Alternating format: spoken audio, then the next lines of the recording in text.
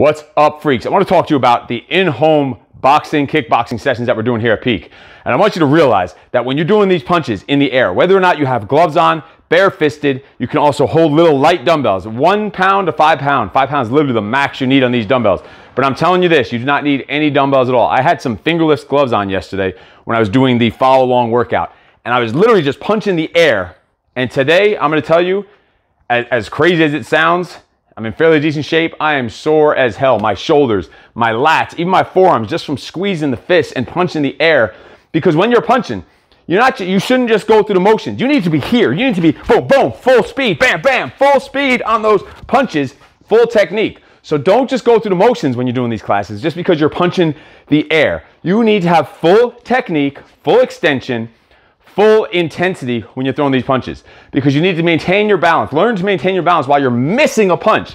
So it all needs to be full speed. You need to go all out high intensity. Don't, don't let your mind tell you, I'm just punching the air, I need to slow things down. Now, with that said, you want to make sure you're not getting sloppy with it and you're snapping and hyperextending an elbow or letting a shoulder yank out of the socket. That's why this is all controlled. Your whole body's throwing a punch. So when you're throwing a hook, it's not just a fast arm hook.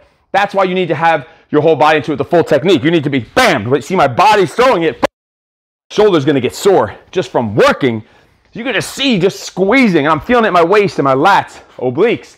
That's the way you need to approach these at-home boxing, kickboxing workouts.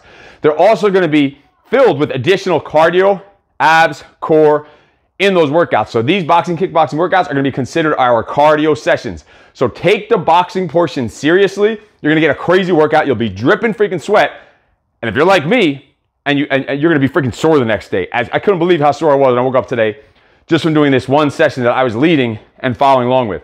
If you have gloves, great, wear the gloves. If you have a heavy bag, even better. Hit the bag instead of the air if you have a heavy bag at home. If not, it does not matter. You will get a crazy workout. You will kill fat. You will continue moving forward towards your goals because that's what this is all about.